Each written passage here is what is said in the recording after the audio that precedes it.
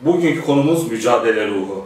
Çok sevdiğim kişisel gelişim uzmanı Ahmet Şerif İzgören'in seminerinde dinlediğim ve her zaman aklımda ve kalbimde olan bir söz.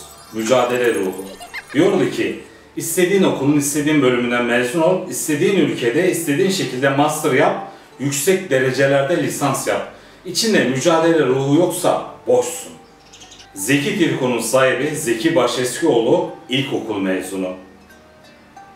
Zorlu Grup Başkanı Ahmet Nazif Zorlu ilkokul mezunu. Ama içlerinde yüreklerinde mücadele ruhu olan insanlar, vazgeçmeyen insanlar, pes etmeyen insanlar. Ya bir yol bulanlar ya bir yol açan insanlar ama asla yoldan çıkmayan insanlar.